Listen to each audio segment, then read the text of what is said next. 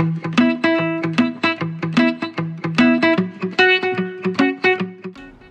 นมเปี๊ยะอารมณ์ดีเป็นหนึ่งในสินค้าที่มีการต่อยอดเพื่อเพิ่มมูลค่าสินค้า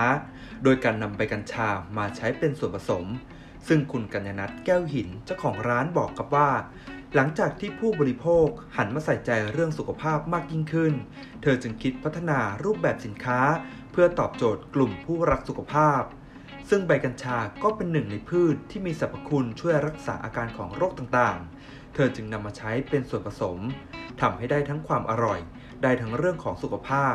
และที่สำคัญก็ได้รับการตอบรับจากผู้บริโภคเป็นอย่างดีครับ ทุกอย่างเราก็คือต้องทำให้ถูกถูกต้องตามกฎกฎหมายก่อนค่ะ ก็คือตัวที่เราไปรับใบมา ตอนนี้คือเราเรายังไม่ได้ปลูกเอง เราก็ต้องรับใบมาจากแหล่งที่ถูกกฎหมาย แหล่งที่มีใบอนุญาตค่ะ แม้ว่าในปัจจุบันกัญชาจะปลดล็อกแล้วในบางส่วน ดังนั้นผู้ที่สนใจใช้ประโยชน์จากกัญชา ในส่วนที่ปลดล็อกแล้ว จะต้องมีองค์ความรู้ เพื่อให้เกิดการใช้อย่างถูกต้อง ปลอดภัย ต้องมีการขออนุญาตใช้ และปลูกอย่างถูกกฎหมาย ผ่านคณะกรรมการอาหารและยา และที่สำคัญต้องใช้ในปริมาณที่เหมาะสม เพื่อไม่ให้เป็นอันตรายต่อผู้บริโภค พี่น้องประชาชนควรจะตระหนักนะครับว่า กัญชาก็คือสมุนไพรเหมือนกับสมุนไพรชนิดอื่นๆนะครับ ถ้าเราใช้ในทางที่ถูกวิธี มีความรู้ที่ชัดเจน เราก็จะใช้ประโยชน์จากกัญชาได้อย่างปลอดภัยนะครับ แล้วก็เกิดประโยชน์ได้อย่างเต็มที่ ทางสำนักงานคณะกรรมการอาหารและยาเขาก็จะควบคุมดูแล ในเรื่องของความปลอดภัย ในเรื่องของความสะอาด ในเรื่องของอมาตรฐานคุณภาพต่างๆ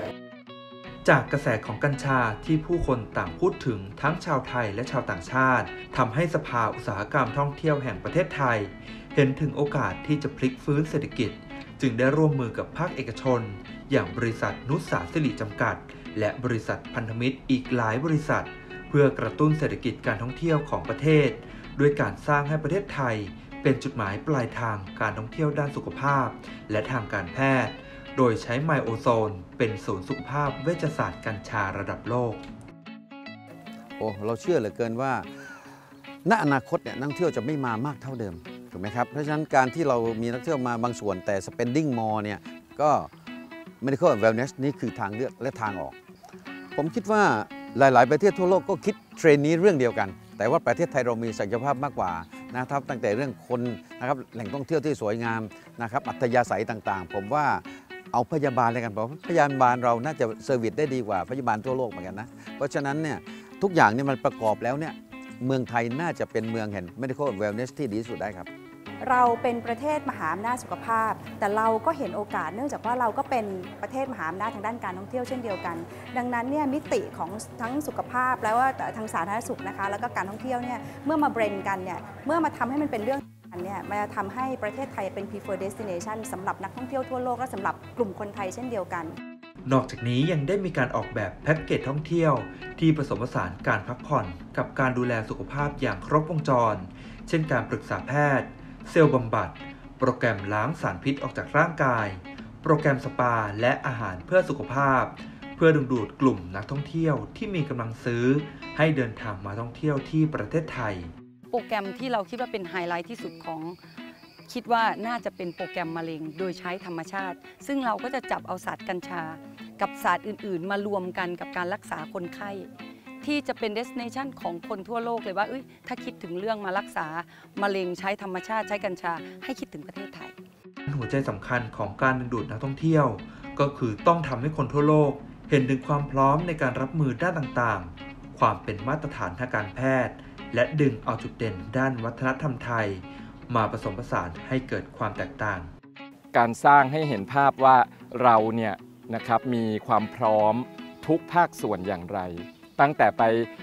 การจองมาเลยนะว่าการจองของเขาเนี่ยชัดเจนแค่ไหนแพ็กเกจมีอะไร